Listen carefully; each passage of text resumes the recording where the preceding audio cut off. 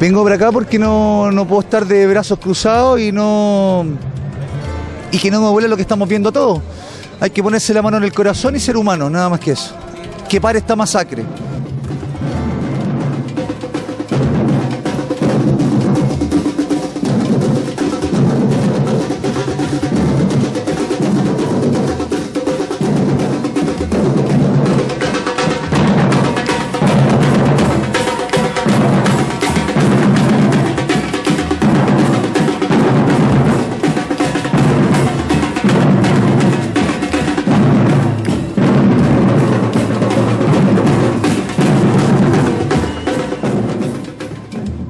El gobierno de Chile, luego de haber llamado a consulta al embajador, debería tomar eh, medidas enérgicas, comenzando por eh, impulsar un boicot a los productos israelíes y, en definitiva, si no hay una respuesta adecuada por parte del gobierno de Israel, debería lisa y simplemente romper relaciones diplomáticas. El gobierno de Chile que, que conoce de atropello de los derechos humanos, que conoce de genocidio y de crímenes contra la humanidad, lo menos que puede hacer es cortar relaciones con el Estado de Israel. Este gobierno debe imitar lo que ha hecho Ecuador, Bolivia, Nicaragua, eh, Cuba y Venezuela, que es retirar el embajador y acortar las relaciones con ellos. Hay una contradicción severa entre un país que defiende los derechos humanos a nivel mundial, que ha tenido un rol activo en, en- en la defensa de los derechos humanos, y por otro lado, mantener relaciones con un Estado represivo, un Estado que asesina cobardemente a mujeres, hombres y niños.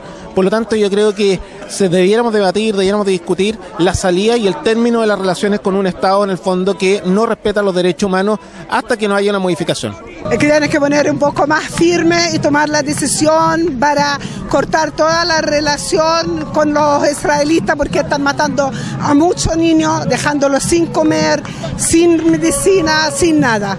La verdad que seguir con las relaciones diplomáticas es un poco validar el genocidio que está ocurriendo y la verdad que el Estado de Israel no tiene ninguna voluntad por, por solucionar esto. Si vemos que terminó la, la tregua hace poco y apenas terminó reanudaron la, eh, inmediatamente los bombardeos. Mi mensaje es claro que la comunidad judía, tanto nacional como internacional, aunque seamos una minoría, hay otra voz que es disonante con el discurso hegemónico sionista y hay judíos que precisamente, como recordamos, muchas atrocidades que nos pasaron no podemos permitir que sucedan masacres como la que está sucediendo en en Gaza. No es necesario solamente con llamar al embajador. Yo creo que romper las relaciones comerciales es un, eh, yo creo que es un mensaje claro y directo. Eso eh, yo creo que es lo que es bueno. De hecho, es lo que se ha estado pidiendo acá y, romper todo tipo de relaciones con Israel. Estas relaciones, ser radical, de inmediato, fuera todo, fuera todo lo que tenga que ver con el gobierno israelí, hasta que acaben con la masacre. Porque esto no es una guerra, es una masacre. Están exterminando al pueblo palestino. retirar al embajador de Israel en Chile y cortar todo tipo de relación con Israel-Chile. Eh, sacar los productos de Israel de la venta, tanto como McDonald's, Starbucks, hasta Ripley, todo lo posible, pero hay que sacar todo, todo lo, claro, boicotear, todos los productos de, Israel de Chile.